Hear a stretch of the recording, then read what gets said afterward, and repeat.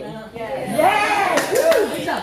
So um, make sure whenever you uh, use tutting, um, use lines and angles, okay? So as much as popping is more like breaking the lines, okay? Going more like with the groove and the swing, here you go back to really geometry, right? Like parallel and perpendicular, okay?